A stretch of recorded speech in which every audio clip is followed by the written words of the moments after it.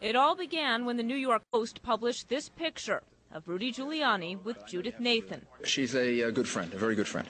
A week later, Giuliani confirmed rumors that had swirled for years about his marriage to Donna Hanover. We've grown independent. Uh, we've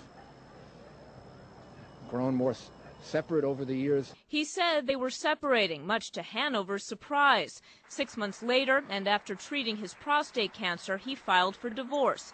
And that's when things turned really nasty. Hanover got a judge to ban Judith Nathan from Gracie Mansion. In return, Giuliani stripped his wife of her city funded staff and her duties as First Lady and sent his pitbull attorney on the attack. Her agenda is to embarrass the mayor, to embarrass his friends, to make life difficult, to denigrate the mayor of the city of New York, and to help her career. Neither Hanover nor her lawyer have ever responded much publicly, even when Felder implied Hanover was a bad mother.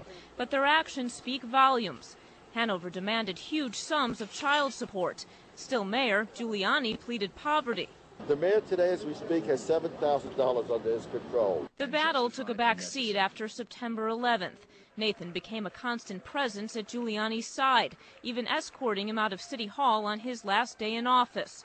The saga finally picked up again two weeks ago when Hanover filed her own divorce suit, citing Giuliani's, quote, open and notorious adultery, and not just with Nathan. For several years, it was difficult to participate in Rudy's public life because of his relationship with one staff member. She was talking about Cristyne Lategano, Giuliani's one-time communications director. Lategano and Giuliani have both denied they had an affair.